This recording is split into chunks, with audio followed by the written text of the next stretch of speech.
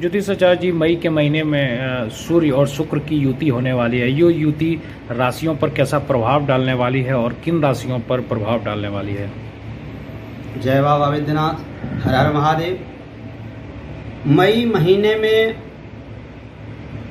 एक क्रूर ग्रह दूसरे क्रूर ग्रह के साथ मिल करके अपना समय व्यतीत कर रहे हैं। एक ही राशि पर दो ग्रह जब आ जाते हैं, दो क्रूर ग्रह तो वह अन्य राशियों पर प्रभाव डाल देता है। इस बार सूर्य और शुक्र की जुति जो हो रही है, दोनों विपक्षी ग्रह, दोनों शत्रु ग्रह हैं। एक राशि पर यदि शुक्र और सूर्य की युति होती है तो इसको अच्छा नहीं माना जाता है। इसके बाद भी शुक्र वृषभ राशि पर स्वराशि हैं, लेकिन अस्त हैं, जिसके कारण निर्बल हो गए हैं।